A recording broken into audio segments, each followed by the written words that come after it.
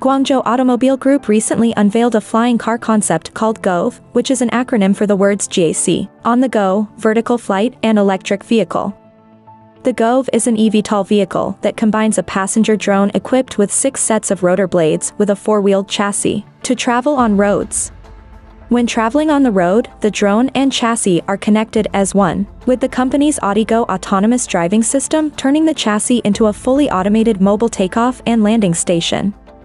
When it comes time to take to the skies, the drone is separated from the chassis and the brand's flight control system and multi-object recognition technology enable GOVE to fly steadily and at high altitudes.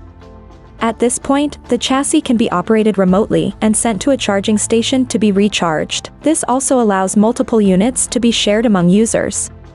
Finally, during an air-to-ground docking scenario, the flight cabin can be precisely aligned and docked with the chassis. The Gove comes with a dual backup multi-rotor power system for redundancy so that the flight cabin continues its scheduled flight, even if a single power unit encounters an issue during flight.